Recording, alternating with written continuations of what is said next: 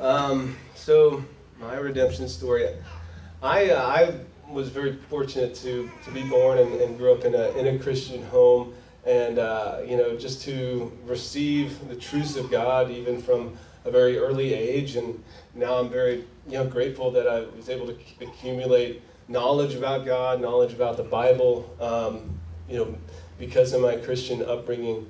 And when I was a, a youth. Um, I loved church and I loved um, the, the friendships that I made, the activities that we were able to do. Um, but there was a few things wrong with my uh, theology, with my, my faith during that, that, that time. Um, you know, one was uh, my, my view of myself and my, my sin nature. I, I knew that I was a sinner, that, that I, I did wrong things, but I also figured I did a lot of good things and didn't do the really bad things. So I overall was a good person and that God would give me a, a thumbs up uh, on my life. Um, but that is not what the Bible says about humanity. You know, in Ephesians 2, it says, As for you, you were dead in your transgressions and sins, in which you used to live when you followed uh, the ways of this world. And so the, the Bible really lays out this picture of you know, God being perfect and, and almighty and, and all holy, and, and we have all fallen short of the glory of God. Uh, the other thing about my Christianity during, during that time, during my youth, um, was that, uh, you know, I, I prayed the prayer when I was four years old. I, I don't have any memory, any memory of it, but my mom tells me about it.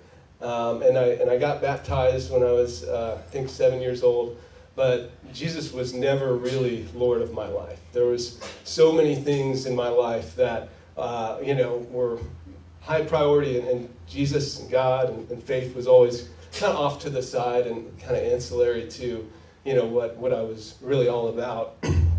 and so this kind of belief system carried on through adolescence, high school, into, into college.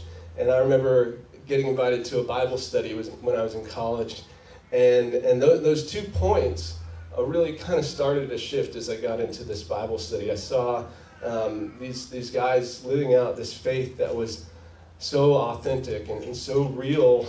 And, you know, they were much better men than I was, and yet they were so broken over their sin.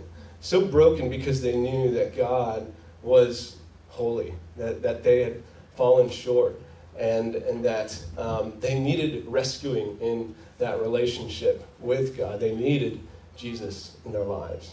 I thought if they need Jesus to rescue them, then I definitely do as well. And then, you know, we were reading through the book of Matthew and was reading Jesus say things like, if anyone is to be my disciple, he must take up his cross and follow me. And he says, if you hold on to your life, you know, you'll lose it. But if you lose my life, for uh, you lose your life for my sake and for the sake of the gospel, you'll save it.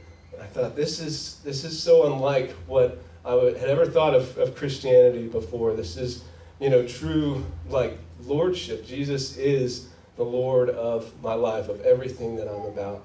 And so it's kind of in that place that I, you know, decided, hey, I, I'm gonna I'm gonna do this. I'm gonna make you know, Jesus, uh, I'm, I'm going to truly give my life to this faith that, that I learned about as a kid, uh, but wasn't all that real, and, and now um, I, I, you know, want to uh, want to pursue it full force.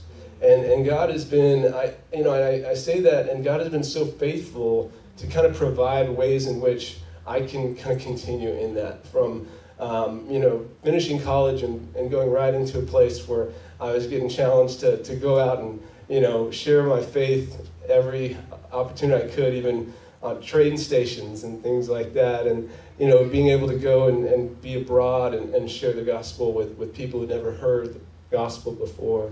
And now, you know, to be a part of this, this church and be, you know, come alongside with so many others who are um, of this, of this, of this mind, of this belief, of this pursuit. And uh, so I'm grateful for, for all of you. I'm grateful for God for uh, redeeming me, and that's my redemption story.